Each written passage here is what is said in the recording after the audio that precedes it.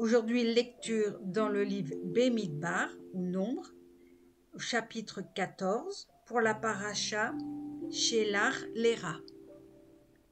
Alors toute la communauté se souleva en jetant des cris, et le peuple passa cette nuit à gémir.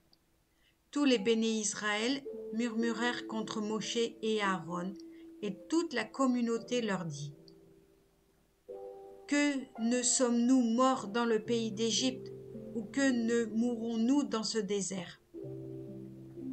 Et pourquoi Yahweh nous mène-t-il dans ce pays-là? Pour y périr par le glaive, nous voir ravir nos femmes et nos enfants? Certes, il vaut mieux pour nous retourner en Égypte. Et ils se dirent l'un à l'autre, Donnons-nous un chef et retournons en Égypte. Moshe et Aaron tombèrent sur leur face devant toute l'assemblée réunie des bénis Israël.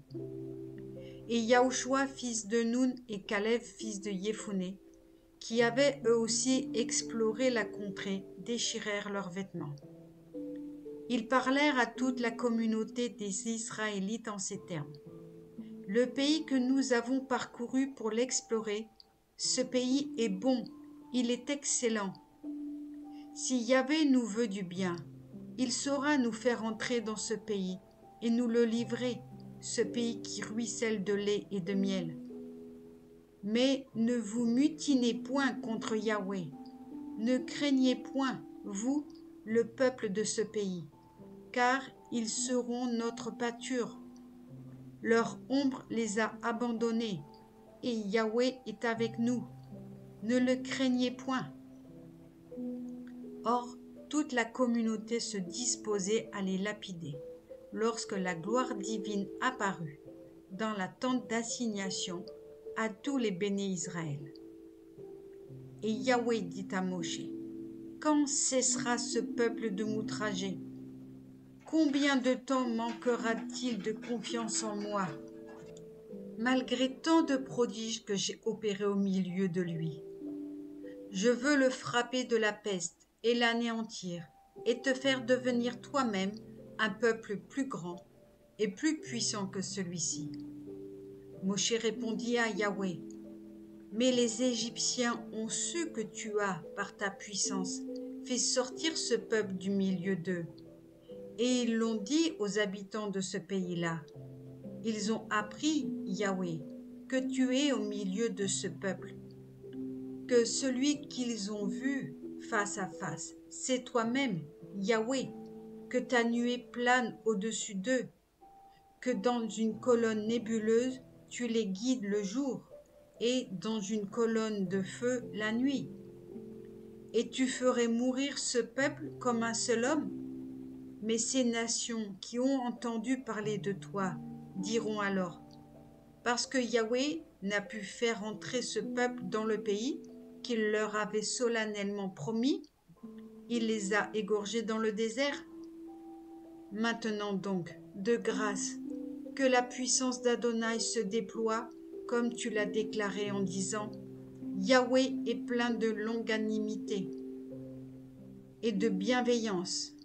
Il supporte le crime et la rébellion sans toutefois les absoudre, faisant justice du crime des pères sur les enfants jusqu'à la troisième et à la quatrième génération. Ô pardonne le crime de ce peuple selon ta clémence infinie, et comme tu as pardonné à ce peuple depuis l'Égypte jusqu'ici. Yahweh répondit, Je pardonne selon ta demande. Mais aussi vrai que je suis vivant et que la majesté de Yahweh remplit toute la terre, tous ces hommes qui ont vu ma gloire et mes prodiges en Égypte et dans le désert, et qui m'ont tenté dix fois déjà, ils n'ont pas obéi à ma voix. Jamais ils ne verront ce pays que j'ai promis par serment à leur aïeux. Eux tous qui m'ont outragé, ils ne le verront point. Pour mon serviteur Caleb, attendu qu'il a été animé d'un esprit différent, et m'est resté pleinement fidèle, je le ferai entrer dans le pays où il a pénétré, et sa postérité le possédera. Or, l'Amalécite et le Cananéen occupent la vallée. Demain, changez de direction et partez pour le désert du côté de la mer des joncs. Yahweh parla à Moshe et à Aaron en disant Jusqu'à quand tolérerai-je cette communauté perverse et ces murmures contre moi? Car les murmures que les enfants d'Israël profèrent contre moi, je les ai entendus. Dis-leur, vrai comme je vis, a dit Yahweh, selon les propres paroles que j'ai entendues de vous, ainsi vous ferai-je. Vos cadavres resteront dans ce désert, vous tous qui avez été dénombrés tous, tant que vous êtes âgés de vingt ans et au-delà, vous avez murmuré contre moi. Jamais vous n'entrerez, vous, dans ce pays où j'ai où j'avais solennellement promis de vous établir. Il n'y aura d'exception que pour Caleb, fils de Yéphoné, et Yahushua, fils de Nun. Vos enfants aussi, dont vous disiez, ils nous seront ravis, je les y amènerai, et ils connaîtront ce pays dont vous n'avez point voulu. Mais vos cadavres à vous pourriront dans ce désert. Vos enfants iront errant dans le désert quarante années, expiant vos infidélités jusqu'à ce que le désert ait reçu toutes vos dépouilles. Selon le nombre de jours que vous avez exploré le pays, Autant de jours, autant d'années, vous porterez la peine de vos crimes. Partant quarante années, et vous connaîtrez, et vous connaîtrez les effets de mon hostilité. Moi, Yahweh, je le déclare. Oui, c'est ainsi que j'en userai avec toute cette communauté perverse, ameutée contre moi. C'est dans ce désert qu'elle prendra fin. C'est là qu'elle doit mourir. De fait, les hommes que Moshe avait envoyés explorer le pays, et qui, de retour, avaient fait murmurer contre lui toute la communauté en décriant ce pays, ces hommes qui avaient débité de méchants propos sur le pays périrent frappés par, le, par. Yahweh.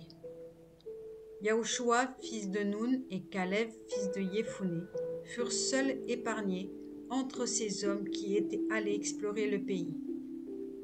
Moshe rapporta ces paroles à tous les enfants d'Israël et le peuple s'en affligea fort.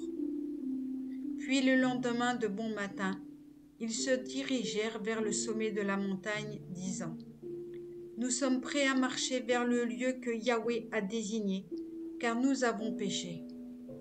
Moshe leur dit Pourquoi transgressez-vous la parole de Yahweh? Cela ne vous réussira point. N'y montez pas, car Yahweh n'est pas au milieu de vous. Ne vous livrez pas au cou de vos ennemis.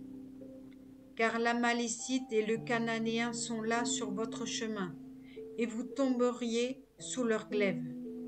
Aussi bien vous vous êtes éloigné de Yahweh, Yahweh ne sera point avec vous. Mais il, s'obstinèrent à monter au sommet de la montagne. Cependant, ni l'arche d'alliance, ni Yahweh, ni Moshe ne bougèrent du milieu du camp. La Malécite et le Cananéen qui habitaient sur cette montagne en descendirent, les bâtirent et les taillèrent en pièces jusqu'à Orma. Amen.